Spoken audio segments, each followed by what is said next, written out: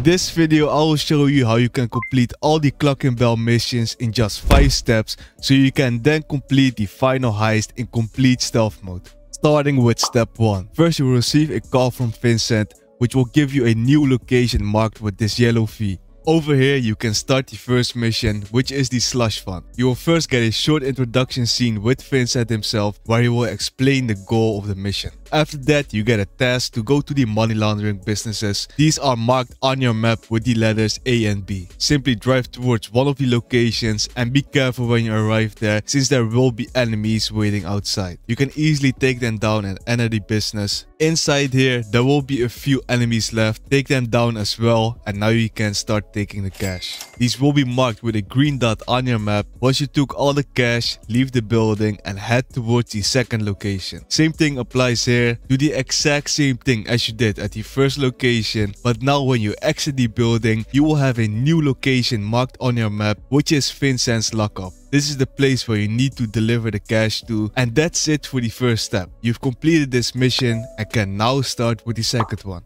You'll get a call again from Vincent and after that you will see the fee marked on your map. At this location, you will be launching all the remaining missions as well. For the second step, you have to go towards two places which are the Terrorbyte and the laptop. First, head over to the Terrorbyte and once you arrive here, you need to search in the yellow area for the vehicle. If you don't know what the Terrorbyte looks like, Vincent also sent you an image attachment on your phone of the vehicle. It can be at different places, just look around for a bit and you will quickly find it. You will also hear some drone noises around the Terrorbyte to find it even faster. Now all you have to do is take down the drones that are flying around. They will keep spawning above the Terrorbyte, but you can easily take them all down. After you've done that, you can now enter the Terrorbyte where you can steal the hacking device. Take it and head over to the second location, which is at the laptop.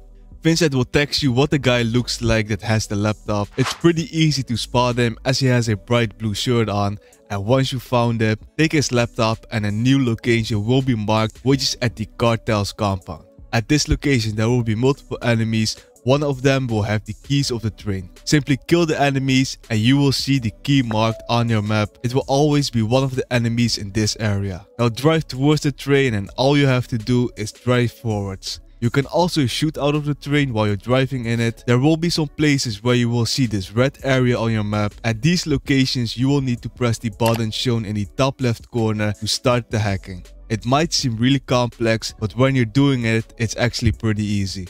While you continue to drive the train to the destination, every car that comes in your way will immediately blow up, so you won't be bothered by that too much. And that's it for the second mission. You can now start with the third step, but before you start with the third mission, you probably spawned around the other side of the map. If you have any businesses closer to the V location on your map, set your spawn location over there and join a new session. This will save you a lot of time. Now starting with the third step, you will have to steal some weapons and armor. However, there are three locations on your map but you don't want to go to all of them because it's a waste of time if you do that. If you check your phone, you will see that these three locations are completely different. You can kind of see this as three different levels. Option A is something you should always avoid. It is the easiest level, but you can only collect weapons here and not the gear. So if you choose A, you still have to go to B or C, which is just a waste of time. Option B, you should also never choose because you need to go all the way into the sea and fight on a yacht, which will take a lot of time as well. The best option which I highly recommend going for is option C as it is the easiest and gives you the best armor plus weapons and if you follow exactly what I show you in the gameplay right now, you can easily take them all down and make sure that you get the best possible loot. Now go back and deliver it to the lockup. And what you want to do now is text Vincent on your phone. Here choose military weapons. Do the exact same for gear and choose confirm. And that's it for this mission. For the fourth step, we're going to get a getaway vehicle. Here you got three options again, A being the easiest to complete and C being the hardest. For this one, I honestly don't recommend going for C, especially if you're a beginner since it can be a difficult mission for just getting a vehicle. I would say either choose target A or B, both are a decent option. For car A, you barely have to fight anyone, you kill a few enemies, shoot this thing over here and bring the vehicle back to your garage. The one I like the most is option B where there will be a bit more security around including a helicopter but you can easily take the helicopter down as it won't respawn. Then when you killed all the enemies surrounding the car, you do need to move this bigger car away so you can jump over the objects around since there's no way of directly driving out of here. Now drive back towards the garage and right before you bring it back, you have to go to Los Santos Customs, which is right across it to repair the car. This will be completely free and now you can store the vehicle inside the garage. And the last thing you have to do is text Vincent again to confirm the vehicle that you want as the getaway car. Now we can start the fifth and last step in order to start with the final heist. When you arrive at the location, you will see two cartel vans appear on your map. You need to hack these cars by driving close to them for a short period of time. To make it easier, just kill the enemies that are inside since they will shoot you anyways even if you didn't. Now hack both of the cars and you will get the location of the cartel's garage. Inside here you have two options. You either do this in stealth mode where no one detects you or you just start killing everyone. You can try doing this in stealth mode but it's easier to just kill them all because when you alert everyone inside, a bar in the bottom right corner will appear which says take out witnesses with a timer next to it. So as long as you kill everyone before the bar is completely empty, no one will be alerted outside and you can loot everything in peace. This will still make the final mission entirely stealth.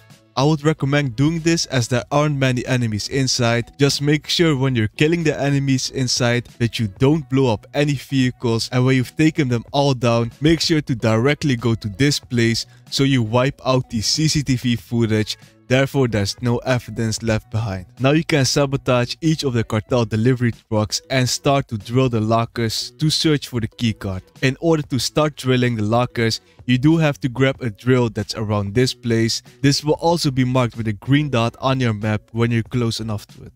Once you found the keycard, leave the place and enter this vehicle. All you need to do is deliver this back to the lockup and you've completed all the 5 steps in order to now start with the final heist. Now for the final heist, I will show you exactly how you can perform the final heist in complete stealth mode. All you need to do is follow what I do and you will not get detected.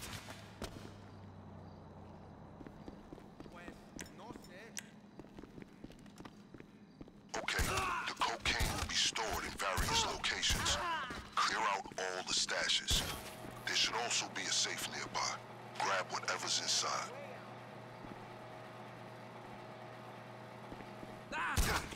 Don't forget the extra gear your crew procured. Feel free to experiment. It should be in a dumpster to the rear of the factory.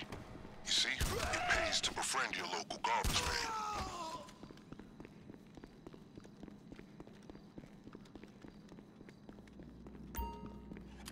The card should grant you access to restricted areas in the factory, including the basement.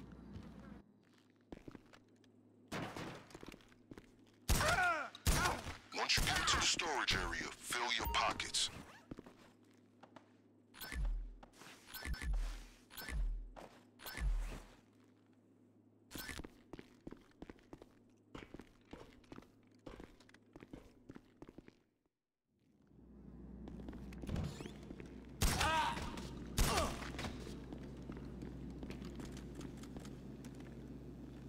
It's clear this place is barely functioning as a chicken factory. One would assume they'd have more Cluckin Bell staff to keep up appearances, but I underestimated just how bold criminals can be once they have the police in their pocket.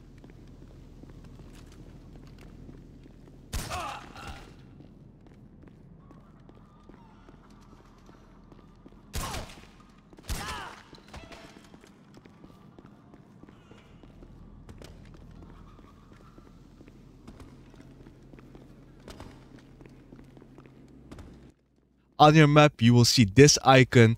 Make sure to grab these keys since we're going to use them in a bit.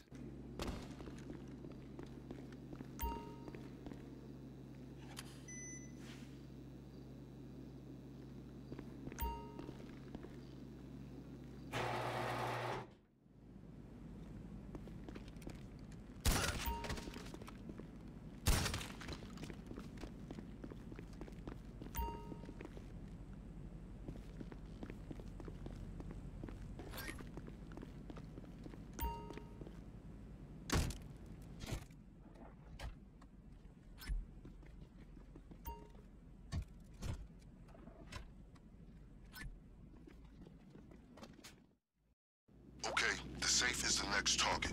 You know what to do.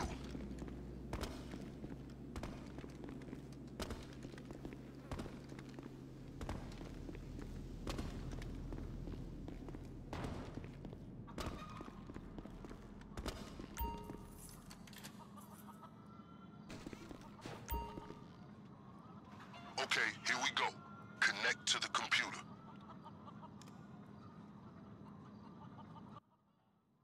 Now with this hacking device, you have to check which computer you need to hack. And the way you check that is by going towards the highest signal. In total you need to do this 3 times which will eventually give you the code of the safe. Remember this and apply it to unlock the safe. Once it's caught the connection,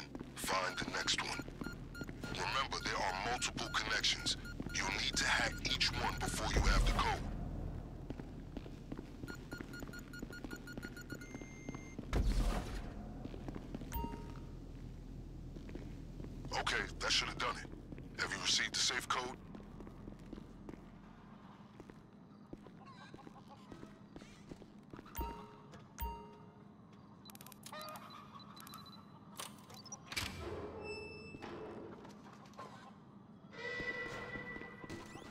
That should do it.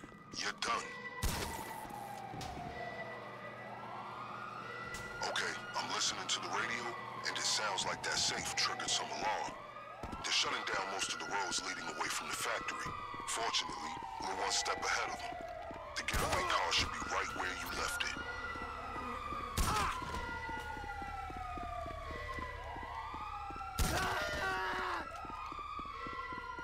The fastest means of escape is still a getaway vehicle that you stashed in the garage. Now at this point you need to wait for this guy to walk back and then afterwards kill the second person else you will alert everyone.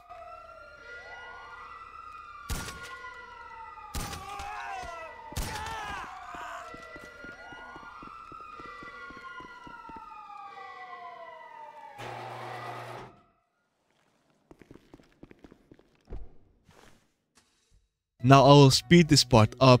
You can't actually lose the cops. I've tried it many times, but at this point it doesn't really matter if you get detected or not, since you will be driving your way back to the lockup. When you've reached around this place and still got the cops behind you, go to the same location that I go in order to lose the cops. It's right near the casino and I will show you the exact location on the map as well. You can go inside this place and hide until the cops are gone. And that's it. You've completed the heist and earned yourself $500,000 and an extra $250,000 for completing it the first time. If you want to know what some of the other best money methods are in GTA Online, check out this video where I show you all of them.